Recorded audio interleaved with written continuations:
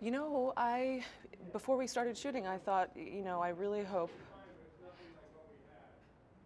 eh, for for so much of my career I've been like Miss Serious Actress and I just wanted to do this because I thought it would be nice if audiences can laugh and be entertained and